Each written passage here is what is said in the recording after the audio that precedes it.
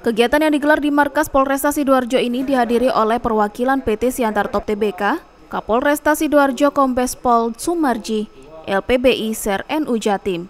Pemberian bantuan seribu bingkisan sembako ini diawali dengan penyerahan secara simbolis oleh Irianto Abdullah, Direktur Operasional PT Siantar Top TBK, kepada Kombes Pol Sumarji, Kapolresta Sidoarjo.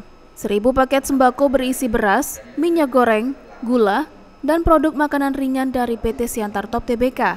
Paket sembako ini diberikan langsung kepada warga terdampak virus corona yang berhak menerimanya. Selain itu, Polresta Sidoarjo dengan dapur umumnya setiap hari juga membagikan seribu nasi bungkus di wilayah hukum Polresta Sidoarjo. Ini adalah momentum yang tepat karena di, di saat situasi dan kondisi uh, bangsa dan negara seperti ini tentunya dibutuhkan uh, sentuhan hati, uh, keikhlasan dan juga turut berbagi.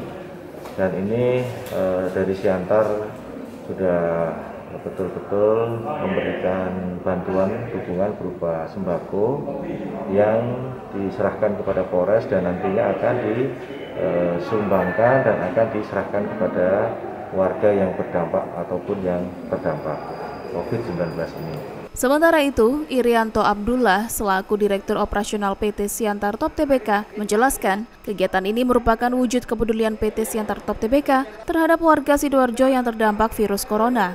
Uluran tangan dari PT Siantar Top pada hari ini diberikan bantuan berupa sembako dan produk-produk PT Siantar Top ya, eh, kepada saudara-saudara kita yang ada di Sidoarjo baik yang terdampak COVID-19 atau uh, untuk menjaga uh, kesehatan mereka.